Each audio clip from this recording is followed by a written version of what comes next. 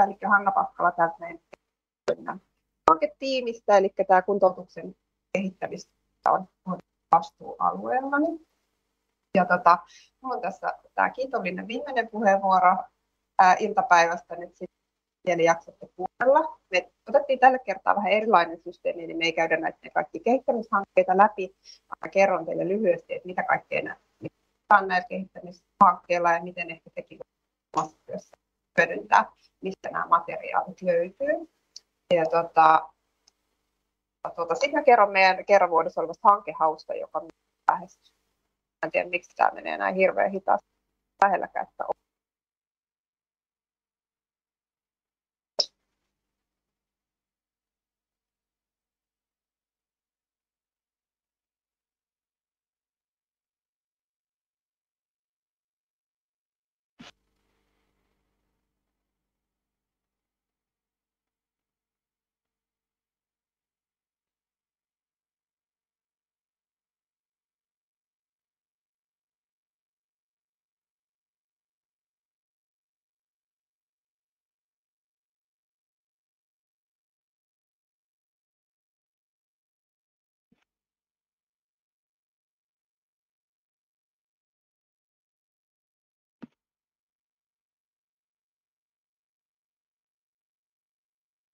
antakaa jonkun muun näyttää sitä esitystä, niin Hannan ääni pääsee läpi. Siellä on varmaan linjoissa liian kova Joo. paine nyt. Ajaltaa Ehkä... esityksen tästä Hanna nyt hallintaan, niin yes, jatketaan näin. näin. Mä tunnen, että mulla rupeaa posket punottaa täällä tilanne.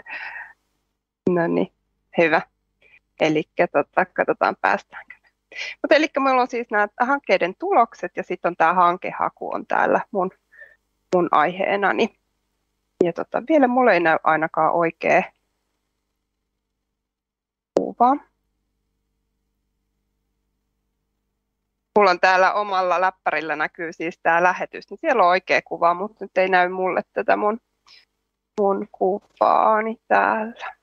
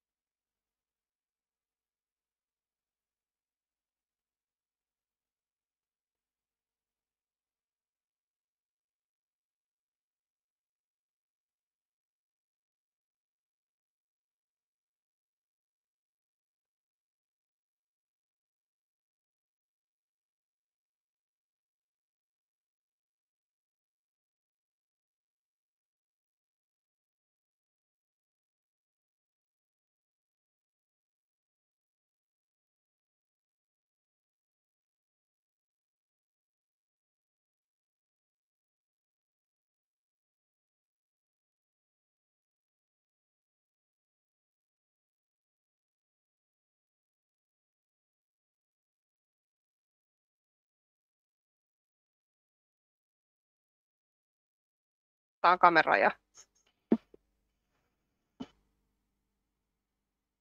No niin, me olemme täällä nyt linjoilla. Toivottavasti kuuluu, kuuluu ääni ja näkyy kuva ja näkyy PowerPoint, niin on kaikki hyvin. Laita vaan Maija ensimmäinen siitä.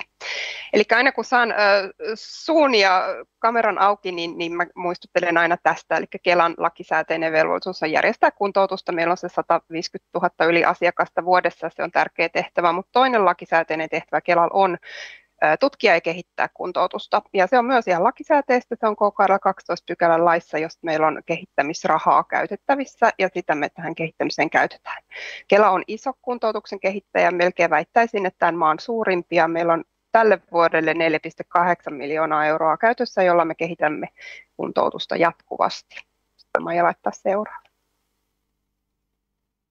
Ja tota, meidän tavoitteena on kehittää kustannustehokkaita, kauhean sana kuin se onkin, niin, ja vaikuttavia kuntoutuspalveluita eri kohderyhmille. Eli maailma muuttuu, yhteiskunta muuttuu, yhteiskunnan rakenteet muuttuu, palvelut muuttuu, hoidot muuttuu. Ei voida samoilla palveluilla, kuntoutuspalveluilla vetää, vetää koko aika, eli koko ajan täytyy kehittää, sitä me tehdään.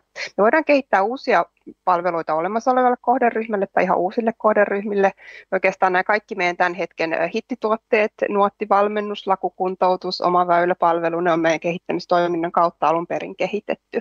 Eli me pilotoidaan pienillä, pienemmillä ö, otoksilla näitä uusia palveluita ja sitten jalkautetaan niitä tuloksia. Erilaisia palveluita, mittausmenetelmiä, yhteistyötä eri sektoreiden välillä. Hyvin monipuolisesti tehdään tätä kehittämistyötä. Sitten seuraava.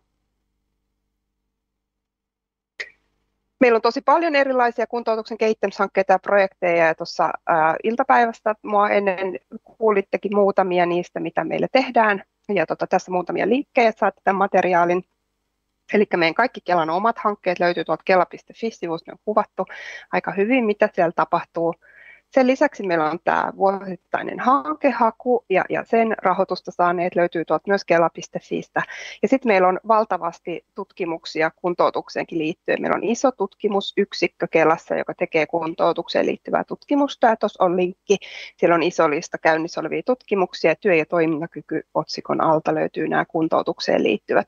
Kannattaa ehdottomasti näitä, näitäkin vilkasta. Vaan seuraavaa. No, kehittämisen tuloksia Kelassa käytetään kuntoutuksen palvelun, palveluiden kehittämiseen. Eli me jalkautetaan mahdollisuuksien mukaan Kelan vakiintuneeseen toimintaan näitä tuloksia. Kela on siinä mielessä hyvä, hyvä kehittävä taho, että meillä on niin lähellä tämä vakiintunut toiminta. Eli me saadaan hyviä tuloksia, me pystytään niitä siirtämään sinne vakiintuneeseen toimintaan. Se, mitä kehittäminen aina tekee, niin se herättää aina lisää tarvetta kehittää ja herättää uusia kysymyksiä ja, ja sen takia tämä on, on sellaista jatkumoa tämä kehittäminen. Mutta se, mikä tässä on olennaista myös se, että varsinkin tässä verorahoin pelataan, niin, niin tämä täytyy olla niin kuin julkista ja avointa tämä meidän kehittäminen. Ja kaikista hankkeista meillä tulee tulokset, jotka on kaikkien käytettävissä. Ne on yhteistyökumppaneiden, asiakkaiden, terveydenhuollon, palveluntuottajille, teidän käytettävissä. Ja tosi paljon tulee hyvää tulosta hyvää tutkimustietoa ja kehittämishankkeiden tuloksia, josta tota, teillekin olisi varmasti paljon iloa. Jonkun verran niitä käytetään ja osana on varmaan teille tuttuja, mutta mä tässä vähän nyt kerron, että mitä, mitä kaikkea ja mistä te löydätte niitä, niitä tota, meidän kehittämisen tuotoksia sitten teille oman työn tueksi. Sitten voi laittaa seuraavan. Eli meillä on tehty tällainen Kelan kuntoutuksen verkkokoulu, joka on tällainen Moodle-pohjainen alusta, johon meillä on kerätty tätä meidän kuntoutuksen kehittämistoimintaa. Tässä on suora linkki, mutta sinne pääsee siis myös kela.fiin kautta on, on myös sinne linkki. Ja sinne täytyy rekisteröityä maksutta, tehdä siis oma tunnus ja salasana ja sitten pääsee tutustumaan näihin kehittämisen materiaaleihin. Siellä on siis tosi kattavasti näitä tuloksia, muun muassa hyödynarvioinnista, mistä Saija kertoi tuossa aamupäivällä. Gassiin on viitattu keskustelussa moneen otteeseen tänään siihen liittyen ohjeistusta kieli- ja kulttuureihin, erilaisia motivaatioharjoitteita ja muuta, nuorten ja opiskeluun liittyvää eläinavusteisen kuntoutuksen ohjeistus, tämä aivan tuore Mysteeri 24, tällainen virtuaalipeli, niin sen ohjeistus on siellä myöskin, kannattaa ehdottomasti tutustua. Voi laittaa seuraavan sivun. Tässä on nyt kuva siitä, miltä se näyttää se meidän verkkokoulu. Eli täällä on erilaisia otsikoita näiden kuvien alla, josta löytyy sitä tietoa kohdennetusti. Ja jos te ette ole vielä täällä työtilassa jäseninä, niin kannattaa tämän tämän tilaisuuden jälkeen käydä tekemässä sinne tunnukset, että me oletetaan, että meillä on monta sataa uutta käyttäjää, käyttäjää sitten tämän tilaisuuden jälkeen. Täällä ei ole vielä niin paljon löydetty tätä meidän verkkokoulua kuin me toivotaan ja toivottavasti nyt sitten hyödynnätte näitä tietoja. Tosi hyvää tietoa koottuna. Sitten olette seuraavan. Sitten sen lisäksi, että meillä on näitä kehittämishankkeita ja projekteja, joissa tulee paljon kaikkea, kaikenlaista tulosta, niin kaikista me tehdään julkaisu. Kelalla on omia julkaisusarjoja. Meillä on tällainen kuntoutusta kehittämässä julkaisusarja, joka on ähm, äh, meidän kehittämistoimintaan liittyen. Ja, ja tässä on linkki, mistä löytyy kaikki meidän julkaisut. Siellä on jo 30 julkaisua muutaman vuoden sisällä tullut. Ja sitten meillä on Kela-julkaisu tutkimussarjoja, eli on ihan vertaisarvioita tuo julkaisua ja sitten vähän kevyempää työpaperia. Sielläkin on kuntoutukseen liittyen. Ja jos tuntuu, että jaksa lukea koko materiaalinippua tai koko raporttia, niin niistä kaikista on sellainen sivun, sivun tiivistelmä kannattaa ehdottomasti ne vilkasta. Ne on kaikki tosiaan sieltä, sieltä ladattavissa. Ja yllättävän hyvin tuo kuntoutusta kehittämässä sarja on löydetty. Mä just kattelin, että meillä on esimerkiksi toiminnallisiin häiriöihin tai nuorten toimintakyvyn arviointiin liittyen raportissa, niin niissä on yli 10 000 latausta ja se on jo aika paljon suomenkielisille julkaisuille, että ihan hyvin ne on kuitenkin löydetty ja opinnoissa ja muissa käytetään. Sitten vaan seuraava. Tässä onkin itse asiassa kuvataan me neljä viimeisintä julkaisua, mitä tullut kipukuntoutuksesta liittyvä kirjallisuuskatsaus aivan tuore. Sitten on tämä hyödyn arviointi, mistä Saijakin tosiaan tuossa aamupäivällä puhui. Eläinavusteinen interventio on, se on käsikirjatyyppinen ja sitten on gasmenetelmää puheterapiassa. Eli hyvin erilaisia laidasta laitaan. Väitän, että kaikille kuntoutuksen ammattilaisille löytyy täältä, täältä jotakin uutta tietoa, mihin kannattaa tutustua. Ja näitä on tosiaan paljon muitakin. Vaan eteenpäin. No sitten meillä on näitä julkaisuja tosiaan, jotka mainitsin, mutta että Sari puhuikin tuossa aiemmin tuosta Kelasairaalassa hankkeesta, niin siinä tehdään tätä yhteistyömallia terveydenhuollon kanssa toimivaan yhteistyöhön, mutta et, et sitä kautta on noussut myös niin kuin valtava tiedon tarve terveydenhuollosta. Me on lähdetty ratkaisemaan tätä tässä hankkeessa tekemällä terveydenhuollolle tällaista verkkokoulua, se on myöskin tällä Moodle-pohjainen, kuten tuo meidän tulosten verkkokoulukin on. Ja se on kaikille maksuton, se ei ole vielä auki, se aukeaa tässä kevään aikana, mutta siellä on tosi paljon perustietoa ihan kuntoutuksen järjestämisestä, lähettämisestä, kuntoutussuunnitelman laatimisesta ja linkkejä kela.fi-sivuille, eli se on hyvin, hyvin selkeä ja, ja informatiivinen sivusto ja toivotaan, että terveydenhuollon väkisen sitten löytää ja muut lähettävät tahot, toki kaikki muutkin on tervetulleita sitä tutustumaan. Ja tota, tässä ollaan parhaillaan käymässä neuvotteluja myös oppilaitosten kanssa, että ne voisi ottaa tätä materiaalia käyttöön ihan siellä, kun kuntoutuksen ammattilaisia koulutetaan. Saadaan tätä kuntoutuksen ja Kelan kuntoutuksen ilosanomaa sitten mahdollisimman laajalti. Tämä on tosi, tosi hyvä, hyvä sivusto ja, ja tota, tiedotetaan tästä heti, kun saadaan se, se auki. Sitten vaan seuraavaa. No sitten me on tehty kehittämisrahoilla tällä yhdessä kuntoon kampanja. Siinä on tietoa yleisesti kuntoutuksesta ja Kelan kuntoutuksesta. Tämä liittyy osittain monikanavarahoituksen purkutyöhön, tämä liittyy kuntoutuksen uudistukseen, tämä liittyy aluevaaleihin, sote-uudistukseen ja ylipäätään kuntoutuksen rooliin. Et paljon kuuluu sitä sellaista, että kannattaako se kuntoutus ja onko se järkevää onpa se kallista ja muuta. Niin me on lähdetty vähän ehkä purkamaan niitä myyttejä tällaisella sivustolla, kannattaa tätä teidänkin vilkasta, eli ihan yhdessä kuntoon.fi on se osoite, ja meillä alkaa tämä markkinointi oikeastaan vasta ensi viikolla, mutta, tota, mutta sivusto on auki jo. Ja me on tehty sinne muun muassa sellainen video, ja sieltä löytyy avainlukuja ja meidän näitä hyödynarviointeja ja muita tutkimustuloksia ja muuta, mitkä sitten puoltaa sitä kuntoutuksen olemassaoloa. Ja nyt jos me saadaan tekniikka tämän sähläyksen jälkeen toimimaan, niin seuraavaksi me katsottaisiin se video, mikä siellä on. Se kestää minuutin ja yhdeksän sekuntia. Jos ei saada toimimaan, no hätää, katot kotona kun ei. Mutta tota, kokeillaan, saataisiko toimimaan. Suomessa Kelan järjestämään kuntoutukseen osallistuu vuosittain 140 000 henkilöä. Heistä yli puolet kertoo myös hyötyneensä siitä. Kelan kuntoutus maksaa yhteiskunnalle keskimäärin 2600 euroa vuodessa kuntoutukseen osallistuvaa henkilöä kohden. Onko se hyvä diili? Me Kelassa tutkimme ja kehitämme kuntoutusta jatkuvasti yhdessä muiden toimijoiden ja kuntoutusasiakkaidemme kanssa. Kuntoutuksen kehittämisen avainkysymyksiä ovat esimerkiksi kuka tai ketkä hyötyvät kuntoutuksesta eniten – Millainen kuntoutus tuottaa parhaiten tuloksia? Miten varmistetaan, että ihmiset saavat tarvitsemansa kuntoutusta? Ja vielä, miten Kelan kuntoutus toimisi entistä tehokkaammin sairauden hoidon rinnalla? Hyviä kysymyksiä, joihin pitää etsiä yhdessä entistä parempia vastauksia. Tutustu niihin osoitteessa yhdessäkuntoon.fi.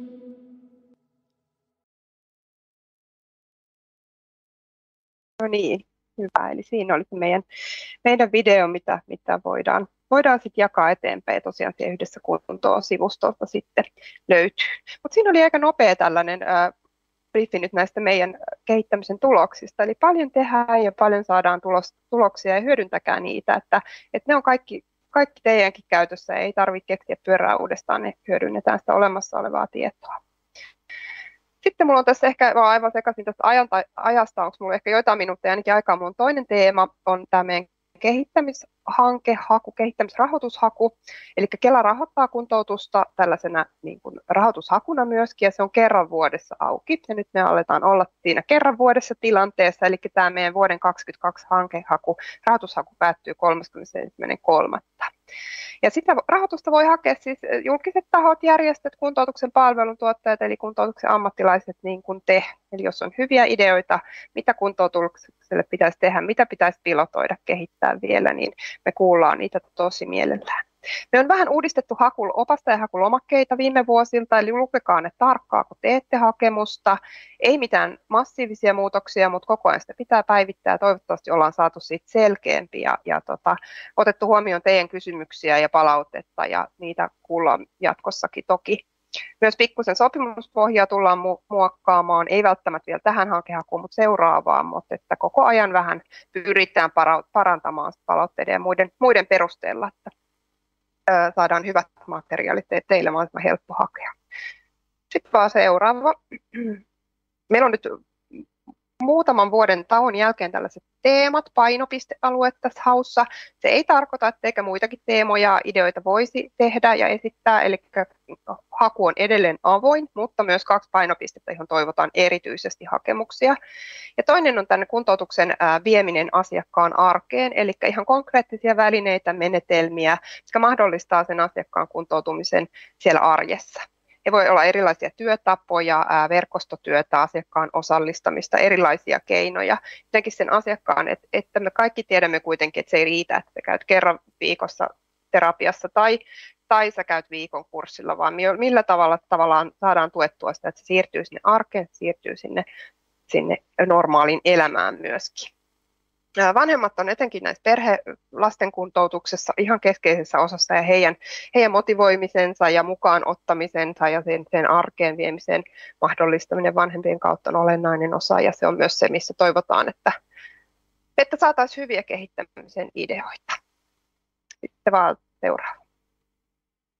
Toisena on kuntoutuksen ohjaaminen, eli tota, ohjaaville tahoille erilaisia keinoja, ollaan kuntoutustarpeen tunnistamiseen, esimerkiksi nuorten toimintakyvyn arvioimiseen tarvitaan edelleen ehkä työvälineitä ja, ja jonkinlaista tukea. Nuottivalmennus on, on löytänyt hyvin paikkansa, mutta me myös tunnistetaan sitä, että sinne ohjataan myös nuorien toimintakykyä. Ei ole arvioitu juuri lainkaan, eikä se ole, ole tarkoituksenmukaista sekin. ICFn käyttö tässä on myös, myöskin hyvä, tavoitteellista. Sitten ihan yhteistyötä ja tiedon jakamista palveluntuottajien ja kuntoutuksen ohjaavien tahojen välillä. Eli Sari kertoi Kelan sairaalassa, mitä me täällä Kelassa teemme, mutta palveluntuottajat voi tehdä sitä paljon myös itse. Ja siinä voi olla hyviä malleja, teillä on hyviä ideoita, mitä te ehkä toteutatte tai, tai millä tavalla haluaisitte alkaa toteuttaa tätä yhteistyötä, mitä voisi olla myös iloa meille muille palveluntuottajille ja Kelalle myöskin. Eli tämän tyyppiset teemat meillä on tässä nyt. Vaan otetaan vauhdilla loput miehittää. Hakemusasiakirjat on lueteltu täällä. Katsokaa ne hakuohjeet, eli rahoitushakemus, kustannusarvio, hankesuunnitelma ja alustava tutkimussuunnitelma tarvitaan aina, jotta me pystytään arvioimaan se hakemus. Mutta nyt nämä löydätte sieltä nettisivuilta ja kannattaa tutustua niihin huolella. Sitten vaan seuraava. Sitten tässä on vähän näistä kriteereistä. Siis Kela myöntää rahoitusta, jos, jos se katsotaan, että se on siis hyödyllinen Kelalle, yhteistyökumppaneille ja tai asiakkaille. Eli me puhutaan tästä Kela-relevanssista, niin kuin tavallaan Kelan kannalta kannattavaa. Eli me emme rahoita esimerkiksi selkeästi vaikka terveydenhuollon vastuualueelle kuuluvaa kuntoutuksen kehittämistä, mutta nämä rajapinnat onkin, sitten me tiedetään, että kuntoutuksessa on paljon rajapintoja, hoidon ja kuntoutuksen väli on välillä, välillä vähän liudentunut ja, ja sinne liittyen toki kehittämishankkeita voidaan, voidaan Kelastakin rahoittaa. Ja sitten se, mitä tässä on sanonut moneen kertaan, että ne tulokset täytyy olla kaikkien käytettävissä. Me tehdään sopimus, jossa on immateriaalioikeudet tarkoittaa niin, että myös Kelalla on, on omistusoikeus niihin tuloksiin. Me voimme sitä hyödyntää valtakunnalliseen toimintaan, mutta toki myös se, kuka sitä kehittää. Se on näin. Mutta se on rahoituksen ehto, että täytyy olla, olla käytettävissä tämän, tämän hankkeen jälkeen. Sitten täytyy olla mietitty jollain tavalla, että miten tämä malli, jos se on uusi palvelu, niin miten se, se voitaisiin viedä käytäntöön, kuka siitä ottaa koppia. Ja se hankkeen toteutuskustannussuunnitelma tulee olla realistisia, Tämä on aina vähän hankala, mikä on realistinen, mutta toki se, että vaikka olisi kuin hieno ideaalimalli ja se maksaa aivan hirveästi, niin me tiedämme, että kukaan taho ei tule rahoittamaan sellaista tämän hankkeen jälkeen. Ja sellaista hanketta ei kannata kehittää. Eli mahdollisimman lähellä sitä oikeaa elämää olisi nämä hankkeetkin, niin, niin se olisi tärkeää ja, ja sitä me arvioidaan siinä lausuntoprosessissa sitten. Sitten vielä on muistaakseni yksi kalvo. Joo, eli pääsääntöisesti sitten taas ei myönnetä sitä rahoitusta, jos se on selkeästi toisen järjestävän tahon, niin kuin vaikka nyt sitten sen terveydenhuollon vastuuta.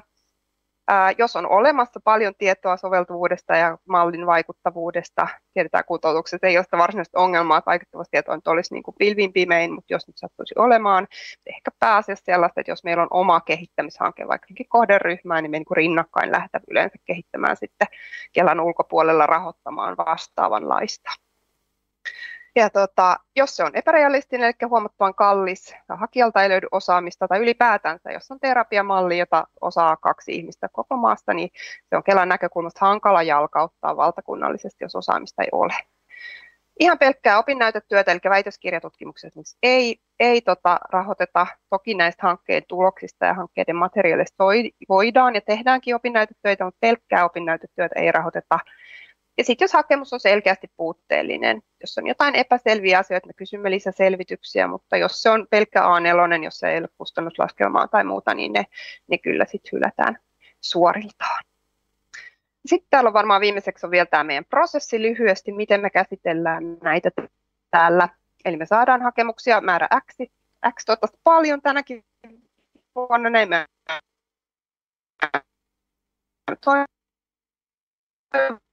nämä, nämä meidän ja hakemukset teidän, teiltä tulleet ja sitten me pyydämme tarvittaessa lisäselvityksiä. Ja meillä on päätöskokous